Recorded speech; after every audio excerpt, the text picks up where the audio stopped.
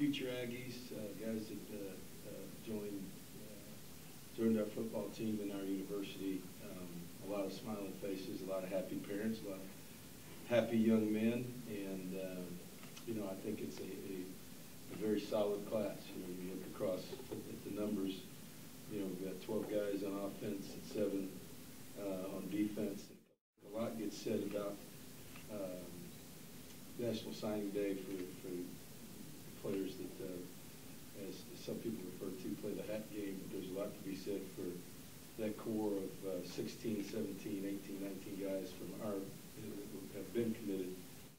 Um, these guys are, are, looking forward to getting here, and uh, we'll see them, uh, believe it or not, the way the calendar starts this year.